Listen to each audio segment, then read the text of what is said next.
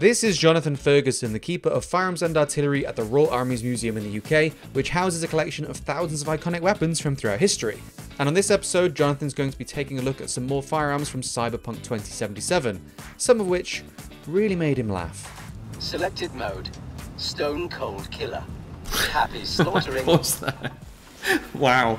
I don't know what to say about that. I kind of like it. If there are any other games, guns, and mechanics you guys want to see Jonathan break down, let us know in the comment section below, and make sure to subscribe as well, as we've got tons of content just like this on the channel, including Loadout, a show where we take a look at the history and impact of some of the most iconic weapons in gaming. Right, let's take a look at the guns of Cyberpunk 2077.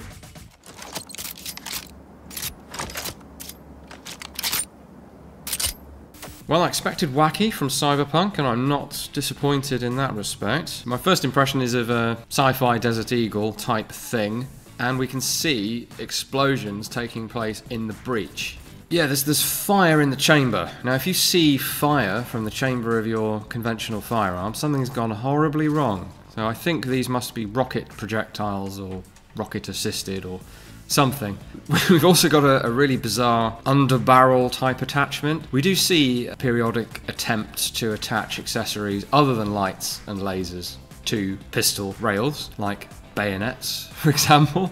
Anyway, this one is a flamethrower of some kind. A tiny flamethrower, which I think might be the only pistol accessory I've never seen attempted in real life. The sights on this thing are really conventional. We've got uh, Glock style white trough at the back and a white dot on the front. Very 20th century iron sights on this high tech, albeit kind of parallel universe from what I understand, weapon.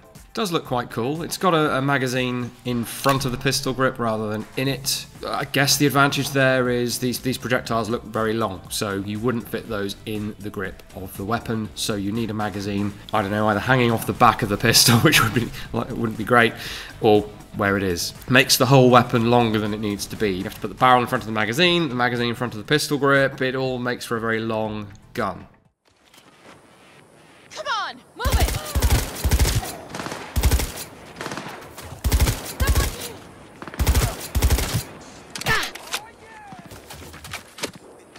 Quite an interesting looking gun. I'm getting some Steyr AUG vibes from it. A lot of sort of detail, of nice detail on it. I'm not sure all of it's tremendously functional, but then, hey, I don't know how this thing works. Reciprocating cocking handles, which are generally frowned upon at the moment, and probably always will be, albeit they are up and out of the way of the shooter, so it wouldn't actually be a problem. The magazine release is a bit weird. It looks like, I'm pretty sure, it's almost like an electronic system. You press the button on the front edge of the magazine well and then pull the magazine out. Not really very efficient. When we already have magazines that drop free when you press a mechanical button, this would be a, a sort of backwards step.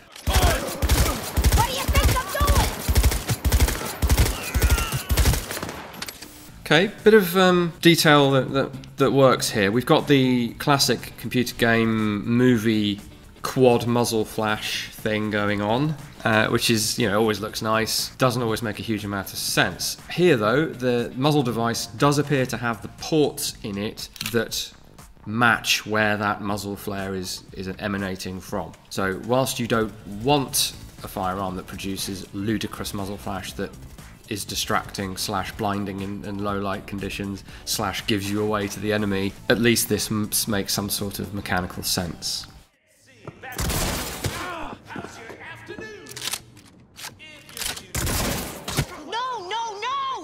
So I'm going to dub this the Angry Bees gun because uh, it's it's essentially a really sci-fied up Mad Max shotgun, but the the sort of nine volt battery looking ammunition units, feed things, whatever they are, cartridges I suppose, are multiple round and they're all they're firing a sort of swarm of shots that seem to fly almost at random. So there's clearly some technology going on here that I'm not privy to.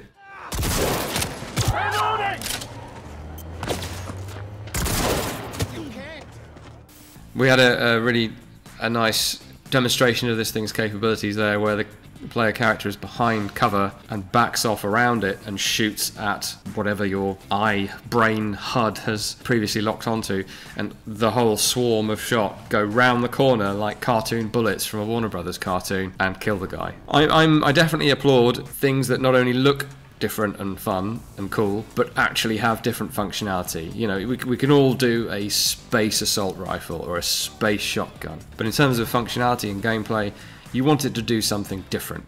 Oh, gentle, gentle cylinder stroke there. It's a very cool looking revolver. It is reminiscent of, well, the front end is uh, Chiappa Rhino. The overall appearance, though, is a bit more Mateba Auto Revolver. Now, normally, um, I can't show you the classical Mateba that everyone knows that looks really cool and presumably inspired the Chiappa as well, because we haven't got one. However, the Mateba we've got is actually quite a bit more reminiscent of the one in Cyberpunk because it has the cylinder in front of the trigger. Uh, it's not a perfect match by any means, but it, it yeah really has a. I mean this this this thing looks cyberpunk on its own. I think weird kind of polymer pistol grip on the back of the of the game gun. Obviously not on this in this case. This is a target revolver, as you can see. So this model, less familiar perhaps to, to, to most people, is the MTR6. This is a 38 special. It has a catch here for the cylinder. Pull down and then push out the cylinder and it works pretty much by default with its own proprietary form of clip. And you drop that in. These are inert rounds by the way. Swing the cylinder up into place and that's that's your loading mechanism. So e even the loading of this feels quite quite cyberpunk. And it's vaguely reminiscent of what I'm seeing here which is the only gun I think that we have that really looks anything like what's in cyberpunk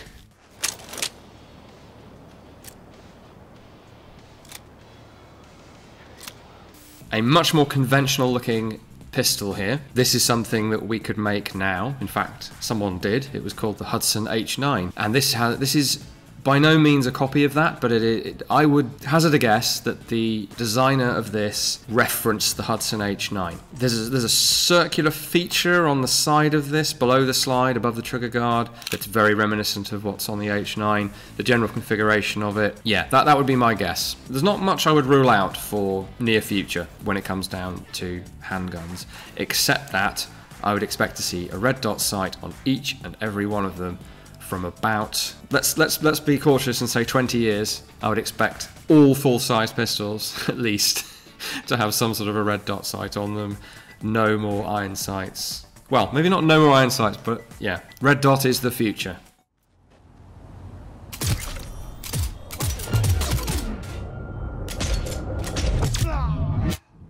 Now, having having gone on about red dot uh, lack of red dot sights on this pistol, knowing full well that there would be some, we've got one, and it's an interesting one as well. It looks to be a miniature. Well, it's it's a reflex sight projected from a base, which is what I keep anticipating the future does hold for us. Is some sort of low-profile base that emits a little holographic reticle so there's nothing to get hit. In terms of field of view, you would you would be looking a little bit further over the top of your pistol, and you have unlimited field of view because there's no framing disturbing your uh, blocking your view. If you think about uh, red dot sights uh, like sitting in a car, you know, driving a car with pillars and a roof and a dashboard, well, ideally for full visibility, you wouldn't have any pillars or roof. Um, but we need that for safety reasons. With a pistol or, or any firearm, you need the framing to protect the sensitive bits of glass. In future, we probably won't need that, and that's kind of what we're seeing.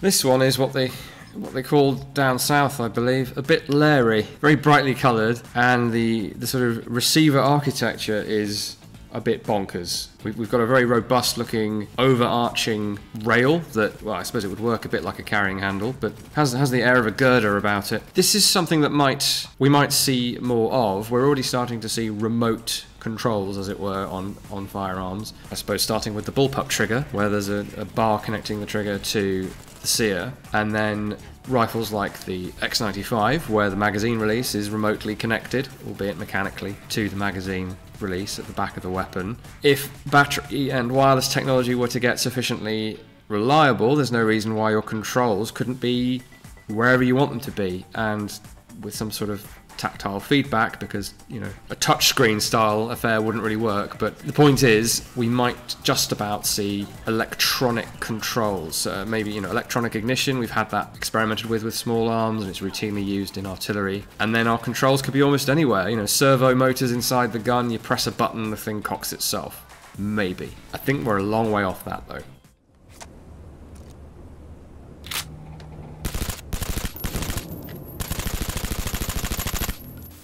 That is deeply ugly. That's got to be I don't know. It's like a, it's a sort of clamshell polymer receiver with all sorts of angles and curves that don't belong. Yeah, it looks like someone's left a P90 in the sun for too long. Struggling to make sense of, of it. Let's let's watch some more.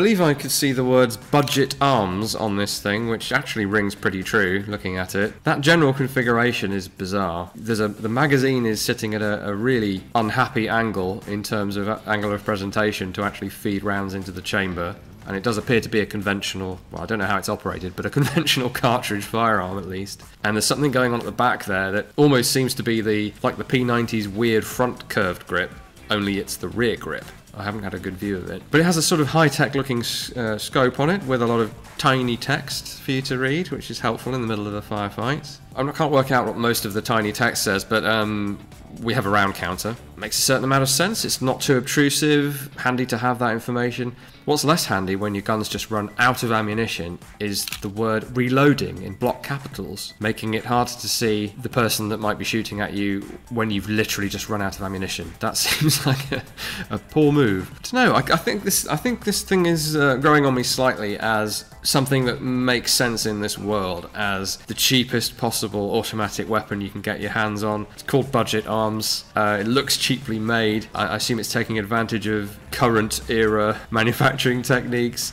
There doesn't look to be a way to replace the optical sight. It's just it's integral. Intriguingly, it does take a, a suppressor. I'd almost expect any futuristic firearm to accept a suppressor, but if this thing is as cheap as it appears to be, I, I'm kind of surprised that it does.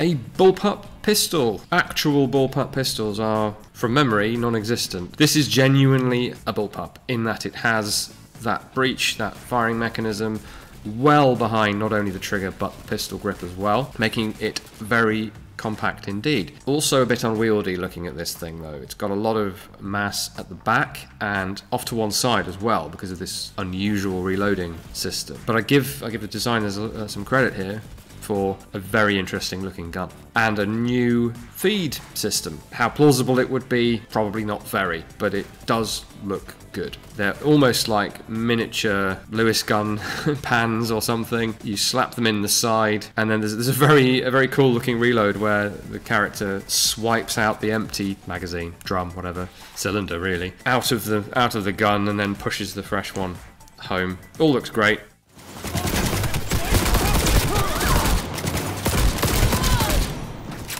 I don't really quite get how it fires. If these are conventional rounds, they're coming in at a ridiculous angle. Clearly don't feed, they fire from within the cylinder. There's there are flashes of electrical blue energy going on here, and what's flying out of the side of the gun are not cartridge cases in the conventional sense. They look almost like machine gun link. So I don't know what those are or how those would fly out of the gun. Maybe something is getting chambered from this Maybe it's not a cylinder, maybe it's a drum. I quite like things that I can't figure out when they look like they might work. it's it's you know, if you think too hard about it, it probably won't work. This I give the I give the sort of sci-fi pass.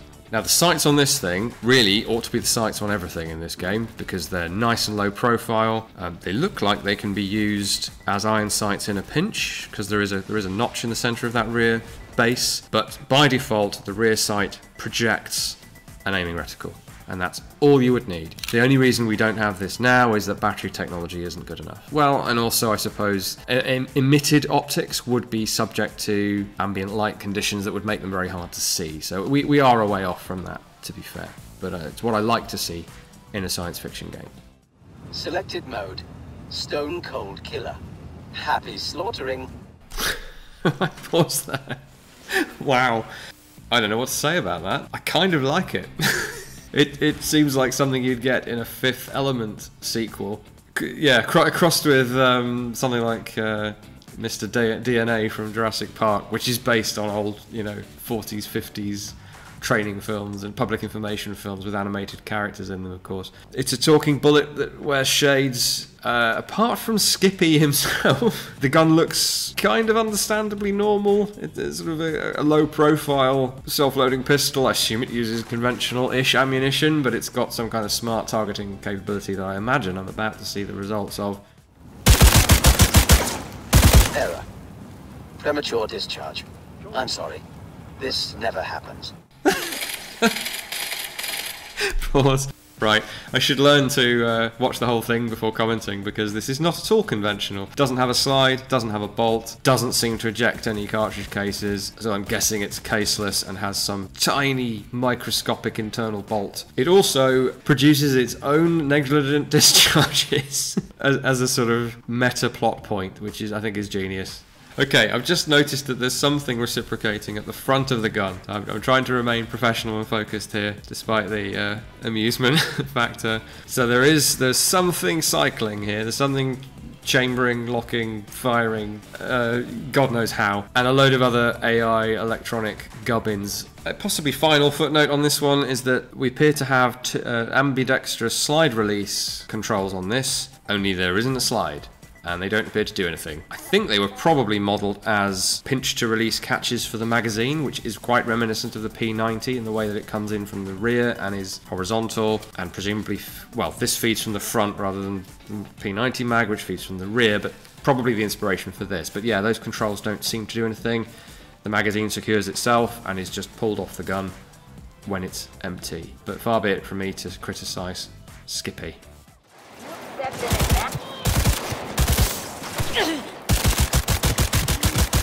Fun fact. Bloodstains can be removed using one easy trick. Right, I think I understand the autonomous aiming thing now. So the gun isn't aiming at all. It's the projectiles that are being guided. So like like at least one of the other guns in the game, you fire them conventionally, or the gun fires itself in this case when the mood takes it, and then the projectiles are guided to the part to the target, or in this case, the part of the target specifically that the AI is able to target. Really fascinating concept, even if it was done done seriously. But instead, we have the sort of Borderlands level humour, uh, which I I cannot help laughing at. The the fun facts, especially, are uh, are really well fun.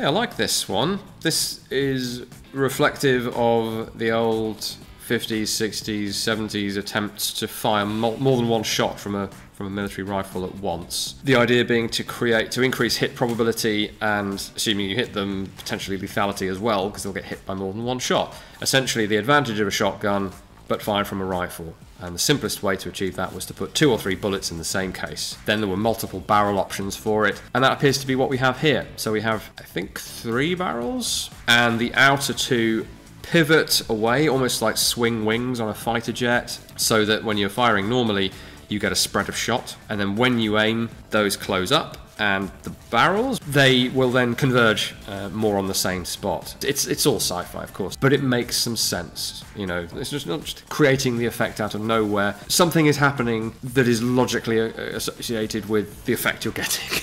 not every game gun works that way.